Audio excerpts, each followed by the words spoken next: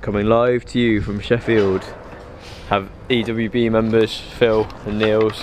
What are you up to there, lads? Browsing it open.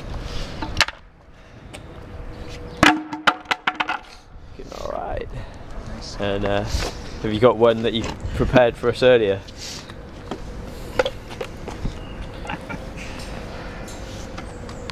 Give us a demo. What was it like taking it out? bit hard. now that stuck to the magnets. Alright, so it's just a question of uh, Push it through from the other side. getting these out, isn't it? Get on the scene. Well, you've got both sides off, haven't you? What are you going to do? Tap it. Not hammer it. Yeah. And then, just to show, this is the this is the uh, stator that came out really nicely. Actually, came out pretty quick. Um, it's looking good. You've got all this.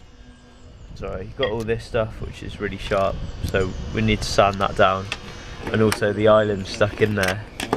So this centre bit needs to be completely removed.